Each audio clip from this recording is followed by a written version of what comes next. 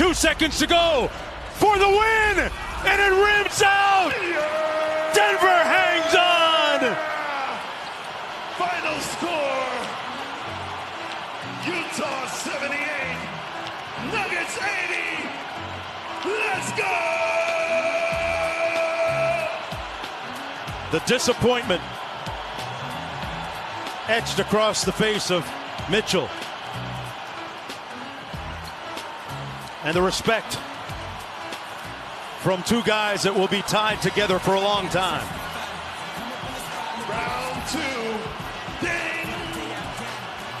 Competition in its A series where it was really the guards battling. It was you and Gobert going back and forth. How much onus did you put on yourself, especially with Murray struggling a bit? I mean, J- Jamal Jamal was playing. Uh, I mean.